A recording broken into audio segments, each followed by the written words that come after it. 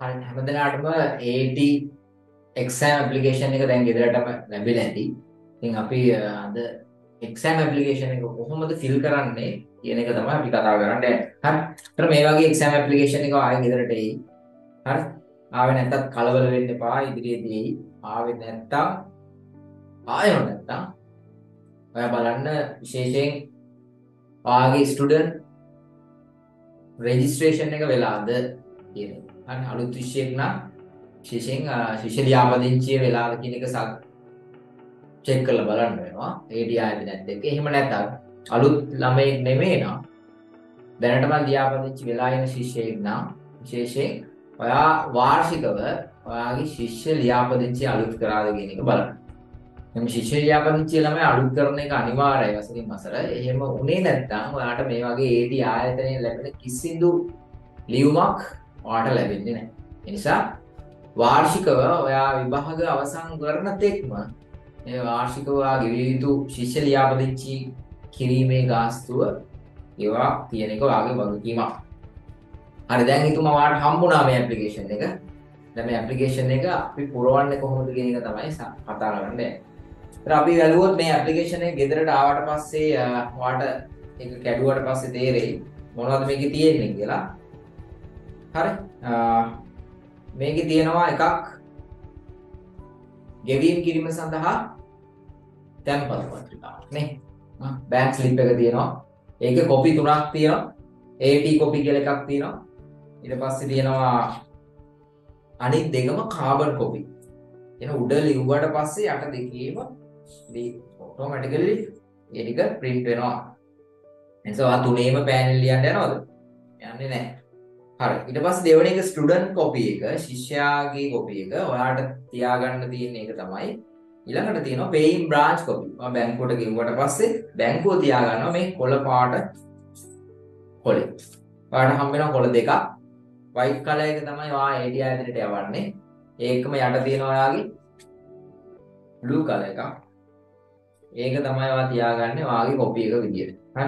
තුන්වෙනි එක තමයි branch එක තියාගන්නේ. තර මේක පුරවද්දී ඒකට අදාළ විස්තර කිව්වොත් ඔයාට බෑන්ක් ඔෆ් සිලෝන් අංකය මුතුවෙන් ලියන්න දෙයක් නැහැ ඒක තියෙනවා ඒ print වෙලාම. මෙතනින් ඔයාට තියෙනවා මේ pay code එක තැන.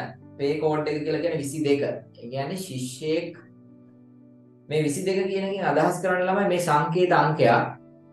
AT ආයතනයට ඕනෑම ගෙවීමක් කරාම එයාලා අඳුන ගන්න එපානේ ඔයා මේ ගෙවන්නේ මොක මොන කාරණයක් සඳහාද කියලා. එනිසා මේ 22 කියලා කියන්නේ exam fee වලට අදාළ කෝඩ් එක. හරි? exam fee. දැන් exam fee එක ගෙවුවා කියන එක හඳුනා ගන්න මෙන්න මේ 22 කියන කෝඩ් එක. අන්න එතන 22 කියන කෝඩ් එක ඉස්සරහින් ඔයාලට පුළුවන් ඔයාගේ student registration number එක දාන්න. දාලා ඉතුරු ටික ඔයාගේ නම දාන්න ඕනේ, date එක දාන්න ඕනේ, NIC එක දාන්න ඕනේ. ඊට අමතරව ඔයාලට ගෙවන මුදල මේ මෙතන තියෙනවා number of subjects කියන තැන ළමයි එතන මොකද කරන්නේ? ආ කරන විෂයන් ගාන දාන්නේ. number of subject කියන්නේ subjects කීයක්ද කියන එක. level 1 එකට කීයක්ද? level 1 එකේ subject කීයක්ද? subject හතරක් නම් හතරට අදාළ මුදල එහා පැත්තෙන් දාන්න. level 2 කරනවා නම් level 2 එකට අදාළ subjects කීයක්ද? ඊට අදාළ මුදල එහා පැත්තෙන් දාන්න. ආ ওই විදියට මේක fill කරලා වාක්සන් කරලා තමයි මේක බැංකුවට ඉදිරිපත් කිරීම කරන්න ඕනේ. හරි. ඊළඟට ඔයාගේ ඇප්ලිකේෂන් මේ ආපු ලියුමේ ඔයාට කියනවා මේ කොළපාට ඇප්ලිකේෂන් එක. මේ ඔයාලට දකින්න පුළුවන් දැන්ටමත් ස්ක්‍රීන් එකේ ෂෙයා කරලා තියෙන ඇප්ලිකේෂන් එක ඔයාලට හම්බෙයි. ඒ ඇප්ලිකේෂන් එක පුරවන්න කලින් කරන කාරුණික ඉල්ලීම තමයි ඔයා මේක සම්පූර්ණයෙන්ම කියවන්න ඕනේ. ඇප්ලිකේෂන් එක කියවන්න ඒක ඉංග්‍රීසි වලින් තියෙනවා සිංහල වලින් තියෙනවා හරි ඒක උඩින්ම පැහැදිලිවම ලියලා තියෙනවා පැහැදිලිව හා නිවැරදිව එක් කොටුවක ඉංග්‍රීසි ලොකු අකුර බැගින් ෆිල් කරන්න. ලොකු අකුරු කියලා කියන්නේ කැපිටල් letters. දැන් ගිහලා සිම්පල් වලින් ෆිල් කරන්න එපා. මම රෙකමන්ඩ් කරන්නේ මේක මුලින්ම ෆිල් කරන්න කලින් ඇප්ලිකේෂන් එක මුලින්ම කියවලා මොනවද මේකේ ලියන්න තියෙන්නේ කියලා බලලා ඊට පස්සේ පැන්සලෙන් ෆිල් කරන්න. හැබැයි ඊටත් කලින් මේ එක්කම ඔයාලට මේ කොළපාට ඇප්ලිකේෂන් එකටත් එක්කම හම්බෙනවා තවත් දෙයක්. මේ විභාග දිනය දිනයක් සඳහන් වෙලා තියෙන ගාස්තු සඳහන් වෙලා තියෙන මේ උපදේශ පත්‍රිකා. ආ ඉන්ස්ට්‍රක්ෂන්ස් ටිකක් හම්බෙනවා. එන්න මේක ළමයි ටිකක් නිදහසේ කියවන්න. පොඩි වෙලාවක් අරගෙන කියවන්න. ඉතින් ඒඩි ආයතනයේ ඔයාලා වෙනුවෙන් මේ දේ කරලා තියෙන්නේ වාගේ මේ ඇප්ලිකේෂන් එක නිවැරදිව පුරව පිරවීම සඳහා අත්‍යවශ්‍ය කරන කාරණා සියල්ලම මේකේ සඳහන් වෙලා තියෙනවා. මේක ටිකක් කියවන්න ළමයි ඉතින් කියවන්නේ ඈ ඒක නෙවෙයි. ආ කියවන්න පොඩි වෙලාවක් ගන්න. දැන් බලන්න මේකේ අපි ඒකත් අපි බලමු මේ අපි ස්ක්‍රීන් එකේ එක තියෙනවා. හරි. ඒතර ඔයාලට හම් වෙනවා ඇප්ලිකේෂන් එකයි ඒකට දාලා උපදේශ පත්‍රිකාවයි ඊට පස්සේ ළමයි මෙන්න මේ වගේ පෝස්ට් කාඩ් එකක්. පෝස්ට් කාඩ් එක අත්‍යවශ්‍ය වෙන්නේ ඇයි? අපි මේ සියල්ල ෆිල් කරලා පෝස්ට් කාඩ් එකේ අපේම ඇඩ්‍රස් එක ලියනවා. ලියලා මුද්දරෙත් අපි 20ක මුද්දරයක් ගහලා අපි යවන AT ආයතනයට මේ ඇප්ලිකේෂන් එකත් එක්ක. එතකොට AT ආයතනය ඇප්ලිකේෂන් එක එහිට ලැබුණා කියලා අපිට මෙන්න මේක හරහා දැනුම් දීම කරනවා. හරි. නිසා ඒක වැදගත්. ඒ වගේම ඔයාලට හම්බ වෙනවා මෙන්න මේ envelope එක. මේ envelope එක ඔයාලට හම්බෙයි. මේ envelope එකේ තමයි ඔයා මේ සියල්ල ඇතුළත් කරලා මේක යවන්න. හරි. හරි ඔන්න ඔය කාරණා ටික තමයි හම්බෙන්නේ. envelope එකයි, post card එකයි, උපදෙස් පත්‍රිකාවයි, application එකයි ඔයාලට හම්බ වෙනවා බෑන්ක් ස්ලිප් එකයි. ඔන්න ඔය කාරණා ටික ඔය item ටික ඔයාලට ලැබෙයි application එකත් එක්ක. හරි දැන් අපි බලමු කොහොමද මේ ඇප්ලිකේෂන් එක ෆිල් කරන්න කියලා. හරි. මේ බලන්න මේ තියෙන වාගේ ඇප්ලිකේෂන් එක. ඉතින් ඒක එහා පැත්තේ තියෙනවා මේක ඉංග්‍රීසි මීඩියම් එක මේක සිංහල මීඩියම්. ඔයා කැමති එකකින් ෆිල් කරාට කමක් නැහැ. හැබැයි පැහැදිලිවම මේක සඳහන් කරලා තියෙනවා පැහැදිලිව නිවැරදිව එක් කොටුවක ඉංග්‍රීසි ලොකු අකුර බෑ. එහෙනම් කැපිටල් ලෙටර්ස් වලින් තමයි මේක ෆිල් කරන්න ඕනේ. හරි? කැපිටල් ලෙටර්ස් වලින්. නම් මේ එක බොක්ස් එකක එක අකුරක් බැගින් තමයි ඔයා මේක ෆිල් කළ යුත්තේ. හරි? එතන මුලින්ම ඔයාලට තියෙන පළවෙනි එක බලන්න. AD ශිෂ්‍ය ලියාපදිංචි අංක. ශිෂ්‍ය ලියාපදිංචි අංකයක් ඔයාලට දීලා ඇති AD ආයතනෙන් ඒක තමයි මෙතනට දාන්නේ.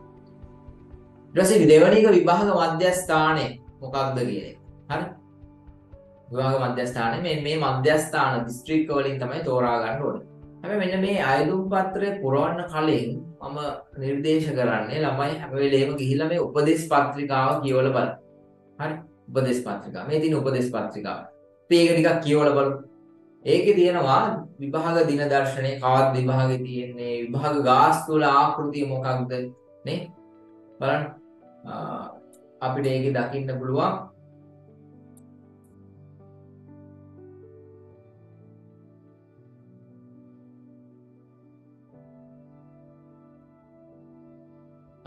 පළවෙනි තියෙනවා 2023 ජූලි.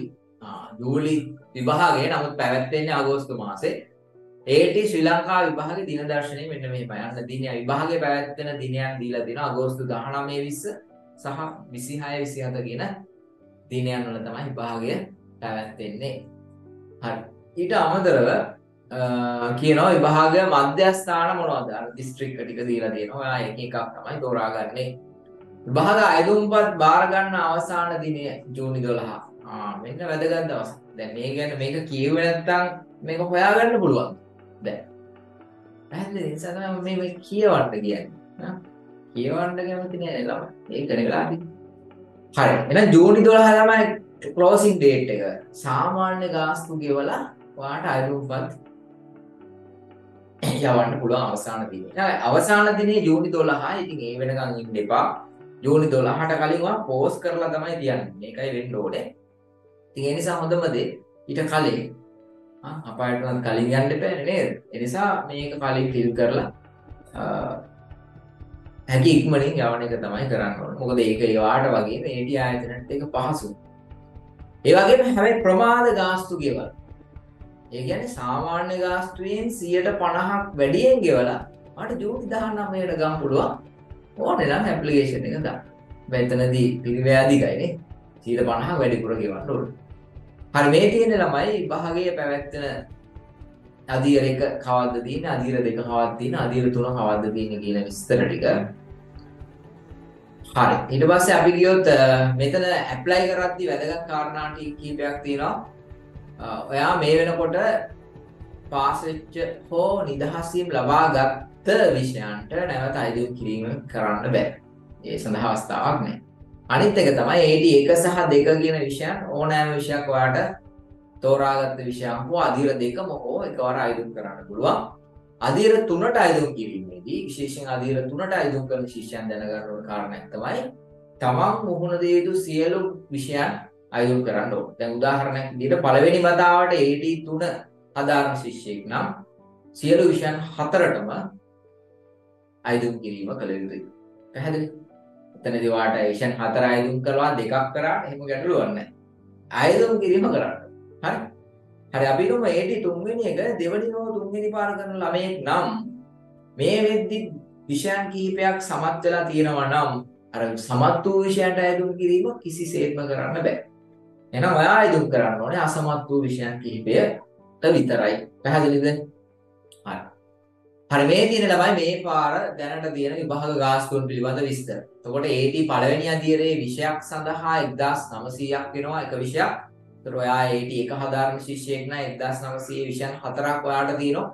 AT දෙක හදාරන ශිෂ්‍යයෙක් නම් 2400ක් වෙනවා ඔයාගේ විභාග ගාස්තු. එතකොට 2404ක් ඔයා ගෙවන්න ඕනේ. හරි. අපි හිතමු A level කොමර්ස් කරපු ළමයෙක් පළවෙනි වතාවට AD කරනවා නම් එයා ඇවිල්ලා AD දෙක කරන්නේ හැබැයි AD එකේ math subject එකත් එක්ක. ඒ නිසා AD එකේ math subject එකට 1900කුත් AD දෙකේ විෂයන් හතරට 2404කුත් ඒ දරුවෝ ගෙවන්න ඕන. පැහැදිලිද?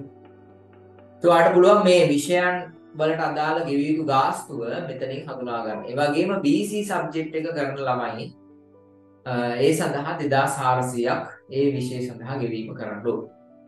එහෙනම් ගෙවීම කිරීම සඳහා මම කලින් පෙන්නපු අර ස්ලිප් එක පාවිච්චි කරන්න වෙනවා. ඒක නිවැරදිව ෆිල් කරලා AT කොපි එක ඔයා තියාගන්න ඕනේ මේ ඇප්ලිකේෂන් එකත් එක්ක AT ආයතනයට යවන්න. පැහැදිලිද? හරි. එතකොට ළමයි ඊට අමතරව මේ ගෙවපු විභාග ගාස්තු පාට නැවත සියල්ලම ලැබෙන්නේ නැහැ. ඒ නිසා අපිට විභාග කරේ නැහැ කියලා 150ක් තමයි ඔයාලට නැවත ලබා ගැනීමේ හැකියාව තියෙන්නේ. ඒක ක්‍රිකට් ඒ සඳහා යම් ක්‍රමවේදයක් තියෙනවා. ඒක පාවිච්චි කරන්න ඕන. හරි.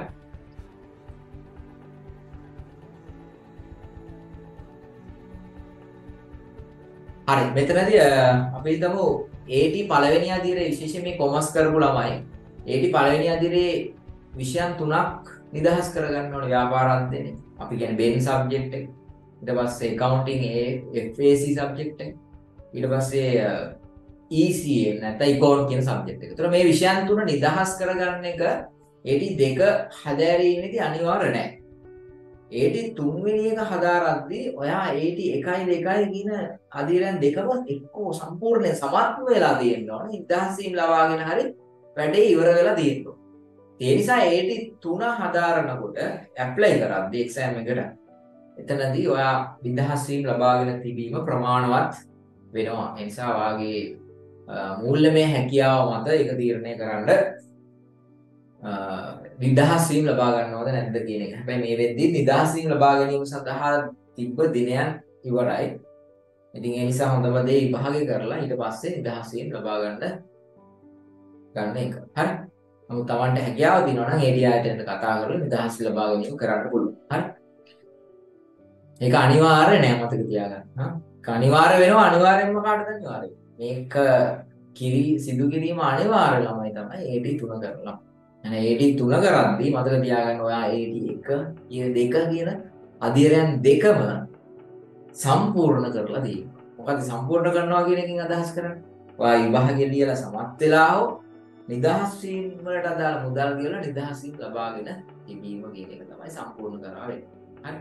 එනම් නිදහසීම් ලබාගෙන තිබීම ඒති තුරණ කරන කරන ළමයිට අනිවාර්ය කාරණයක් හරි එක හොඳින් මතක තියාගන්න හරි ඔන්න ඔය ටික තමයි මූලික වශයෙන් දැනගන්න ඕනේ. ඊට පස්සේ කියනවා ළමයි මේ අයදුම් පත්‍රේ ෆිල් කරනකොට ඔයා කළ යුතු දේවල් කීපයක් ගැන මෙතන සඳහන් කරලා තියෙනවා. හරි අයදුම් පත්‍රේ ෆිල් කරද්දී ඔයාට වැදගත් වෙන කාරණා කීපයක්. ඉතින් මෙතන තියෙනවා මේ පැහැදිලිව මොකද්ද කරන්න ඕනේ? මේ ආයුධ පත්‍රයේ එකින් එක එකින් එක කොටුයි අර එක කියන්නේ ආයුධ පත්‍රය එක කියන තැනට දාන්න ඕන දෙයක්. ආයුධ පත්‍රය දෙක කියලා තියෙන්නේ මේ පැහැදිලිව සඳහන් කරලා තියෙනවා. මේක කියවුවනම් ඕම පොඩි ළමයෙකුට නම් මේක ෆිල් කරන්න කිසිදු ගැටලුවක් ඇති වෙන්නේ නැහැ. ඒක බොහොම පැහැදිලි. මේ පළවෙනි කොටුව. මේ පළවෙනි එකේ ශිෂ්‍ය ලියාපදිංචි දෙවෙනි එක විභාග මධ්‍යස්ථාන. ඊට පස්සේ කියන්නේ තුන්වෙනි එක මුලකුරු සමග නම්. බලන්න උදාහරණකුත් දීලා තියෙනව නේද?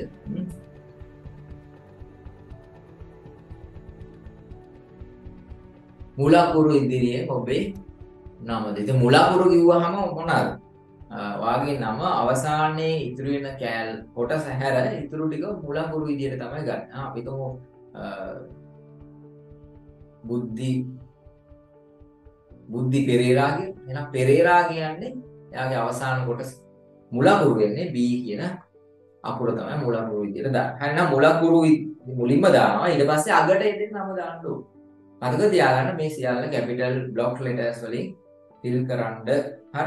ඊට පස්සේ ඉංග්‍රීසියෙන් ලිපිනේ ලියන්න ලිපිනේ ලියන්න කියලා තියෙනවා. හරි අපි යමු දෙක. ඇප්ලිකේෂන් එක බලාගෙන යන්න. හරි. මේ බලන්න ඇප්ලිකේෂන් එක AT ශිෂ්‍ය ලියාපදිංචි අංක 1 2 විභාග මධ්‍යස්ථානයේ මෙතන තියෙන මධ්‍යස්ථාන වලින් තමයි තෝරන්නේ. Taman කැමති ඒවා හැම තෝරන්නේ නැහැ. ඒ දැනට තියෙන මධ්‍යස්ථාන ටිකෙන් එකක් තමයි තෝරන්න ඔයාට ළඟම. එතකොට එතනදී ඔයා බලන්න ඔයා විභාගේ ලියන්න ලං වෙද්දී මේ කියන දවස්වලදී ඔයා ඉන්නේ කොහෙද? සමහර ළමයි අපි දන්නවා කොළඹ ඉන්නේ. ඔයාට කොළඹින් ලියන්න පුළුවන්. ගෙදර යන්න ඕනේ නැහැ. හරි. ඒ නිසා ඔයා තීරණය කරන්න කොහොමද මොන මධ්‍යස්ථානයද තෝරගන්න කියන්නේ. හරි. දැන් තුන්වෙනි එක මුලකුරු සමගනව මම කලින් කිව්වා වගේ මෙතන මුලකුරු බුද්ධි පෙරේරා නම් අගට දෙන්නම් පෙරේරා B කියන අකුර තමයි මෙතන හා බුද්ධි සංජය පෙරේරා නම් නිකා හිතලකින්න බුද්ධි සංජය කියල බස් කියන මුලපුරු දෙක කොටු දෙගේ ලිවා අකට එදනම පෙරේරා කරලි ලිපින ඉංග්‍රීසියෙන් ලියන මේ සියල්ල ඉංග්‍රීසින් පිල් කරන්න. ස්ත්‍රී පුරුෂ භාවට හම්බෙන පස්සෙන කොටුවේ. ඒකන ගැටලුවක් වෙන්න තැන දාන මොකද එද එම්ද කියන එක තමයි වෙතන දන්න. හතර වෙනක වගේ ජාතික හැඳුම් පත්තන්ගේ ලියන්ඩෝ හත්තනක බලන්න.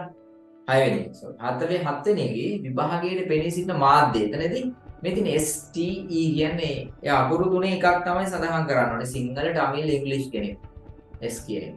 ඊළඟ එක බලන්න 6 8 ඔබ අයදුම් කරන විෂය අංක කෙලින් yes කියන කතිරේ. මේදී yes කිය තීරුවේ yes තීරුවේ කතිර සලකුණ යොදන්න.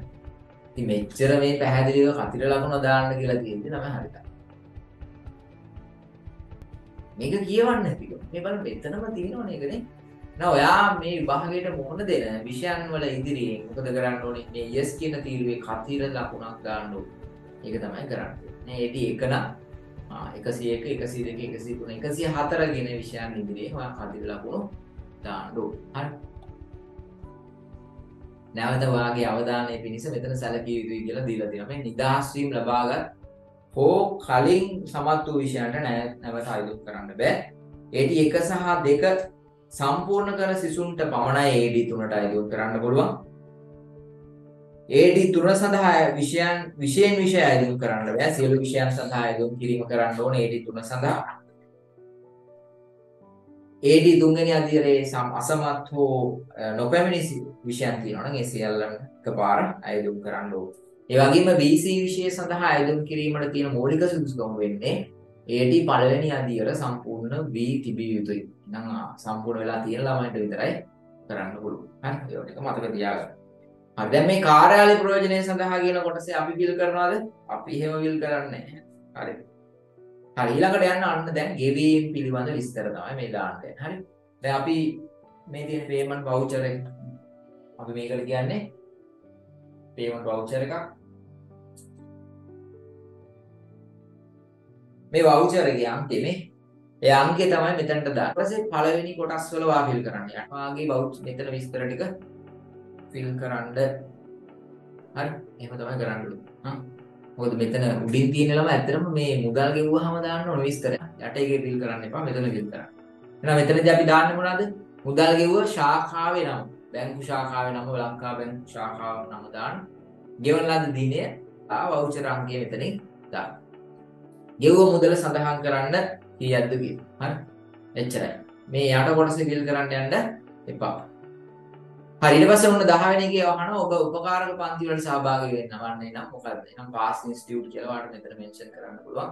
අපේ ආයතනයේ නම අපේ නගරේ වෙන්නේ ගම්පහ දුරකථන අංකය ඔයා දන්නවනේ 077 651 931 7 කියන මගේ දුරකථන අංකය හෝ අපේ ආයතනයේ තවත් දුරකථන අංක තියෙනවා ඒක එකක් සඳහන් කරන්න.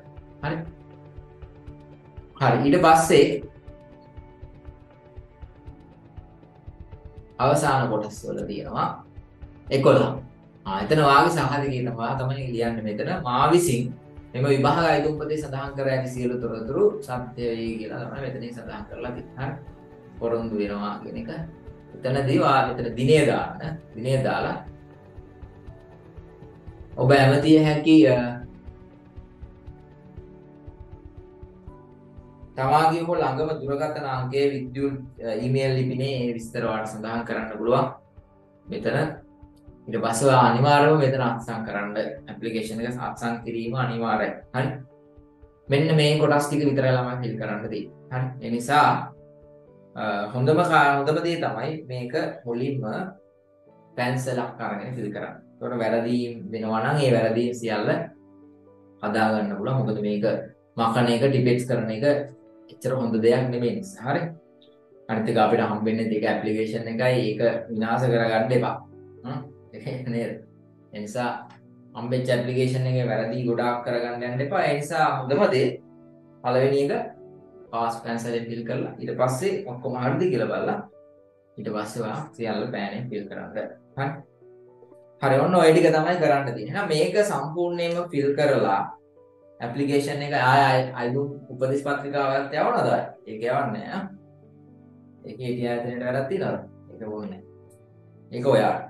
පෝස්ට් කාඩ් එකේ වාගේ ලිපිනේ තමයි ලියන්නේ. හරි? වාගේ ලිපිනේ ලියලා 2 කියන තැන වාගේ ලිපිනේ ලියනවා. වාගේ ශිෂ්‍ය ලියාපදිංචි අංකය ලියලා මුද්‍රයක් අනිවාර්යයෙන්ම මෙතන අලවන්න.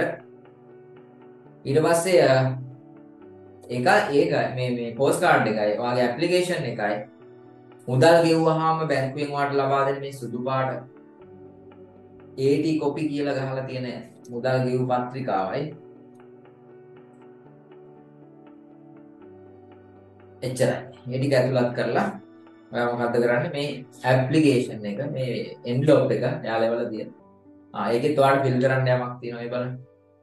ආ ඒකෙත් ඔයාලට ෆිල් කරන්න යමක් තියෙනවා. ඒ ටික ෆිල් කරන්න එතනදී ඔයාලට තියෙනවා ඔයාගේ රෙජිස්ට්‍රේෂන් නම්බර් එක දාන්න ඕනේ යාපදිංචි අංකේ. ඒ වගේම ඔයාගේ ඇඩ්‍රස් එක from කියන තැන ඔයාගේ ඇඩ්‍රස් එක දාන්න ඕනේ.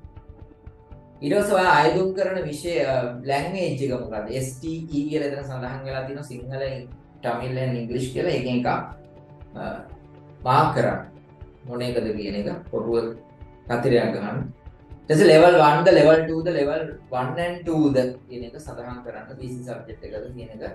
ඒවගේම ඔයා විභාග ලියන නගරය මොකක්ද? අර ඇපලිකේෂන් එක පිල් කරත්තිවා තෝරගත්ත මධ්‍යස්ථානය නගර ආනේ දිස්ත්‍රික් දිස්ත්‍රික්කේ සිටිය එක වා මෙතන මෙන්ෂන් කරන්න ලෝ හරි ඉට පස්සවාගේ පෝස්ටේජ් අදාළ මුද්දර ප්‍රමාණය